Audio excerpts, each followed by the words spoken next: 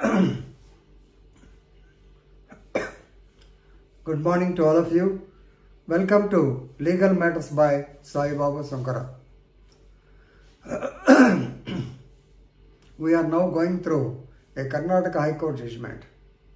The topic is when once the police complete the investigation, is he bound or is the investigating officer bound to inform the complainant about the result of the case?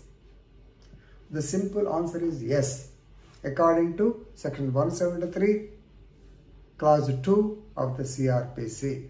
But most of the police officers, they don't send intimation, they don't communicate uh, with the complainant because state becomes the complainant. This is the major uh, issue in this case.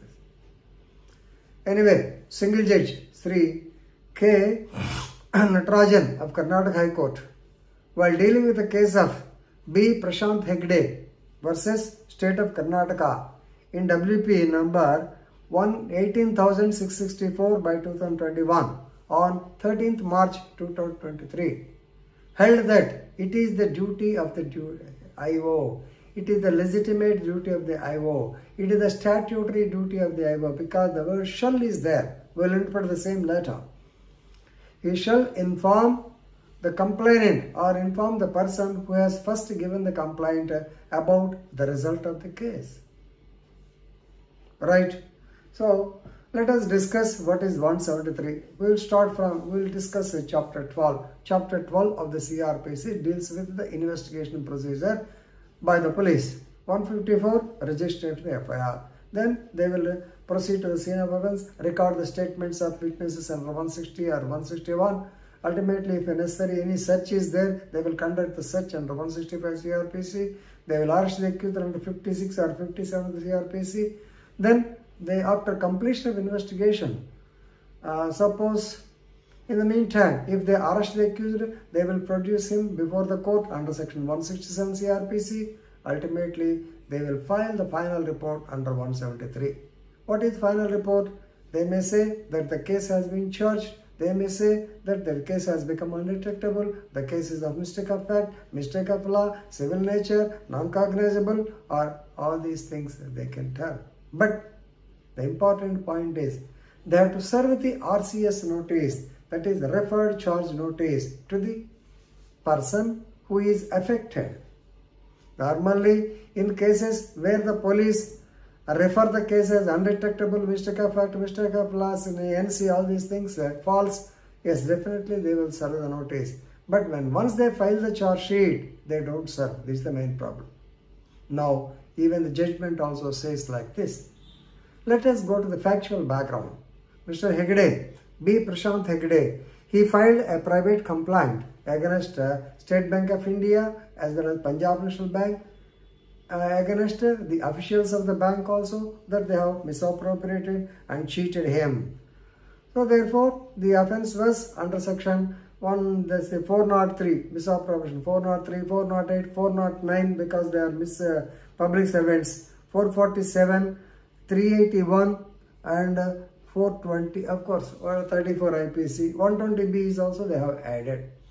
So the bank officers collusively with criminal conspiracy they have caused a loss to him for cheating you know causing wrongful loss or wrongful legate he filed a complaint okay the Honorable Magistrate endorsed it to the CID for investigation because a lot of commercial transactions, a lot of financial transactions, a lot of economic activity was there. It was endorsed to CID. CID filed a charge sheet against the bank officials. Ultimately, the charge sheet was filed.